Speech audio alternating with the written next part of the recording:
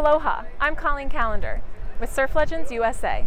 I'm here at the Food Shack on the Point Pleasant Beach Boardwalk, previewing some of the highlighted boards in our auction, the Summertime Collection from Coast to Coast.